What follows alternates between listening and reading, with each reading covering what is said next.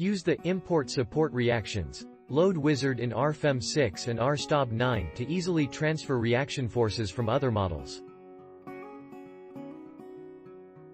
The wizard allows you to connect all or several nodal and line loads of different models with each other in a few steps.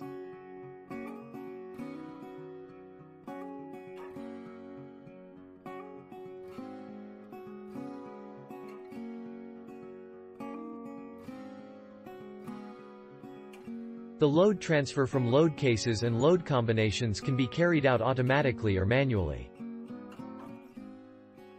It's necessary that the models are saved in the same Dlubal Center project.